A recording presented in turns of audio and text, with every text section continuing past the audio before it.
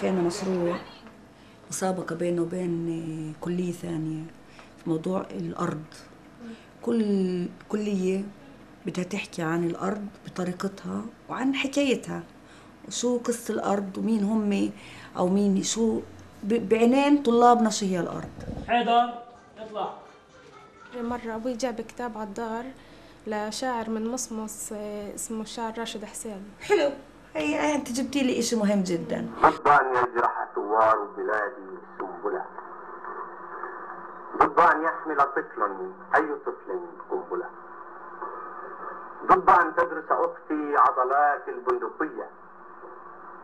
ضد كل النفس والتدمير والحرب. ولكن ما الذي يفعله حتى نبي أو نبية؟ أشواق يا بلادي أكثر من انتحار ومكية. بس خايف والله خايف خايف أرجع ملاقي هي اللي ترحب بي خايف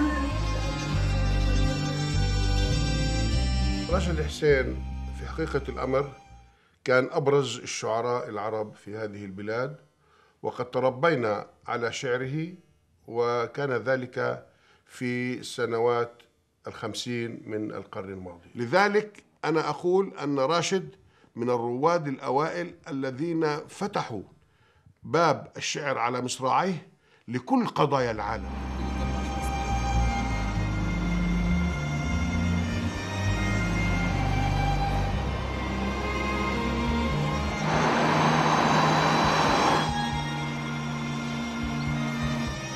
الصورة هاي تضم آه، مع آن ليفي اللي اتجوزها لفترة قصيرة بعد استشهاده صار في دعاية إنه هي كانت مدسوسة من الموساد الإسرائيلي حتى تتعرف وتتقرب منه من هون من قلب إسرائيل. نعت أوساط الجالية العربية الأمريكية وفاة الشاعر راشد حسين نتيجة لحريق شب في سكنه بحيث أدى إلى اختناق الشاعر راشد حسين. فهل هذا الحريق ناجم عن وقوع سيجارة راشد مثل ما تردد؟ هاي هي الرواية المتفق عليها من 32 سنة.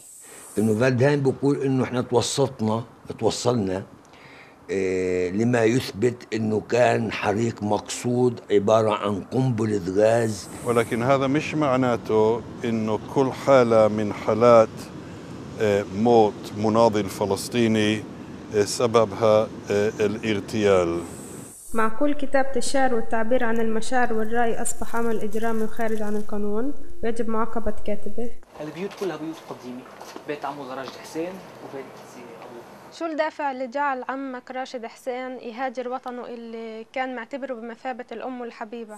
في هذيك الفترة حصلت آه، انفجار القنبلي في طلاب مدرسة في صندلة اللي كانوا يروحوا يتعلموا في مقابلة هو لوحق من قبل السلطات الإسرائيلية بس معلوماتي بتقول إنه هدفه الرئيسي لل- للسفر كان العلم ووقتها ألقى قصيدة اللي أثارت الحاكم العسكري بشكل كبير اللي بيقول فيها مرج بن عامر هل لديك سنابل أم فيك من زرع الحروب قنابل السؤال هل إني رايحة أقدر أصل لحل كل هاي الغموض المتعلقة بحياة الشاعر؟